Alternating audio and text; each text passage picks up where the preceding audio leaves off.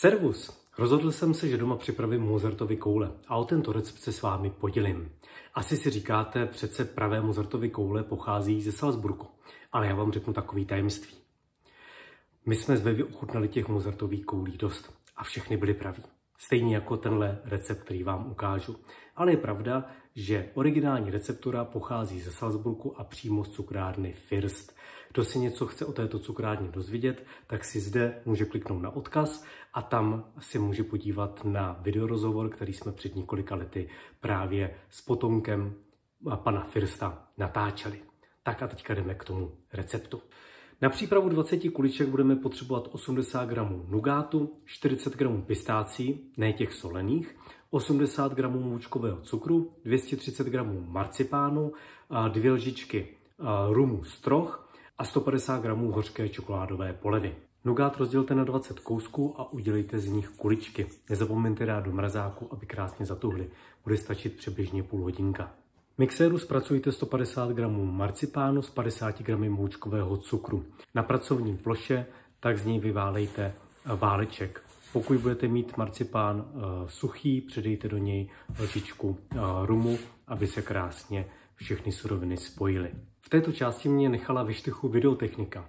Teď je potřeba vzít pistácie, dát je do mixéru, k němu přidat 30 g moučkového cukru, a přidejte k němu 80 gramů marcipánu, všechno rozmixujte, přidejte do toho lžičku rumu stroh a všechno zpracujte jako především marcipán do jedné ruličky.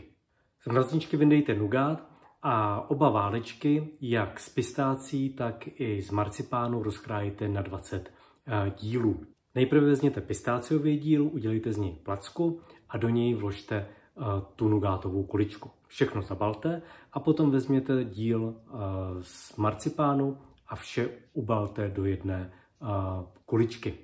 Až budete mít hotovo, dejte všechno na 30 minut do ledničky. Během doby, kdy kuličky tuhly v lednici, jsem vzal vrtačku, vyvrtal jsem do prkínka 20 děr, tak aby se mi do toho vyšly špejle, na které potom budu napichovat Mozartovy koule, až je obalíme v čokoládové polevě.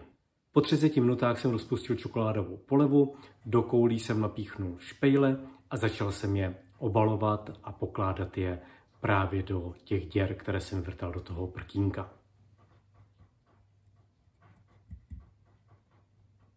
Po zasunutí polevy jsem uh, opatrně odebral špejle a zakápnul jsem čokoládu díry, které zůstaly právě po těch špejlích. No a je hotovo.